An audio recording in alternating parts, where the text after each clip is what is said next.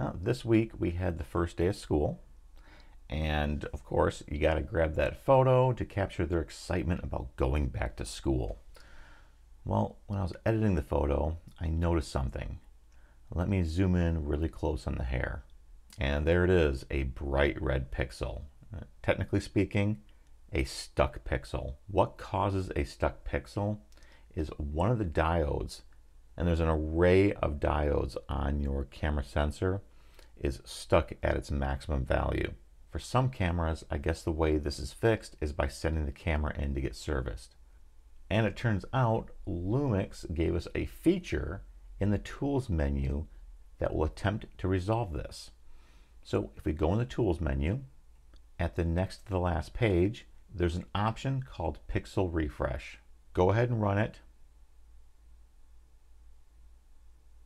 Follow the directions and turn your camera off and turn it back on. For me, this fixed the problem. Now I can't guarantee this is going to fix every single issue, but it's worth checking out and I hope it resolves your issues.